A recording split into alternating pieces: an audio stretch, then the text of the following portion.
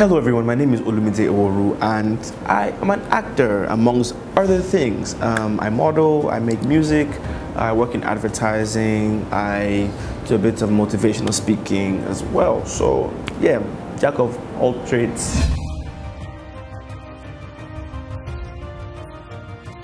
I'm Yoruba uh, from Ogun State. Uh, I'm an only child. Grew up in Lagos. Um, went to King's College Lagos for my secondary school. Was at Unilag for a bit. Graduated recently from Babcock University where I did mass comm. Yeah, I think I think that's I think that's that's a decent enough introduction.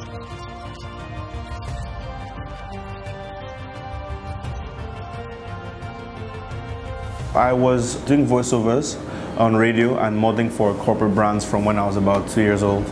Uh, so my mom just took me to audition for this show called Everyday People when I was about six. And, you know, I got on that and, you know, the rest, as they say, is history. I did that for about eight years, um, finished secondary school, uh, got on the Johnsons audition and got on Sugar. Um, I did a couple of short movies uh, for Africa Magic and from that point onwards it just got really serious and became a proper structured career for me. So that's basically how I got started on acting. So, you were too dumb to contrast your own words. If I was an actor, I'd probably be playing football. You know, I mean, look at the money that they're throwing around. I wish, you know, I had known earlier. I probably have keyed into that and gone to sign for a big club somewhere in Europe.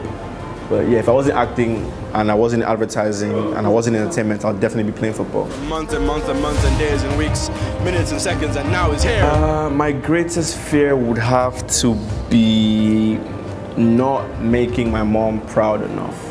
You know, that's my that's the biggest thing. That's the thing that gets me scared the most. So everything I do is to make my mom happy. So yeah, my greatest fear is making letting my mom down. Where the hell have you been, Weki? Let's roll. I went out. There's another actor I'm really looking forward to working with. It'll be Ramsey Noah. Um, really, really, really want to work with Ramsey. Um, you know, growing up watching him on TV, um, and I can't wait until we have to be on a project together. How can you be so blind that you can't see what I'm saying without words? Yeah, definitely, Okay, definitely so- have to be Zainab Balogun. Um, I've had a crush on Zainab for, I mean, since like 2012. Shot. So yeah. Okay, how can I make this up? Just tell me. For the young people that you know want to go into acting, um, I would just say be ready to put in the hours. I mean, it's a lot of hard work, it's a lot of sacrifice. It's not as easy as it seems. There's a lot that you're going to have to do in you know getting jobs and even working on characters when you do get the jobs.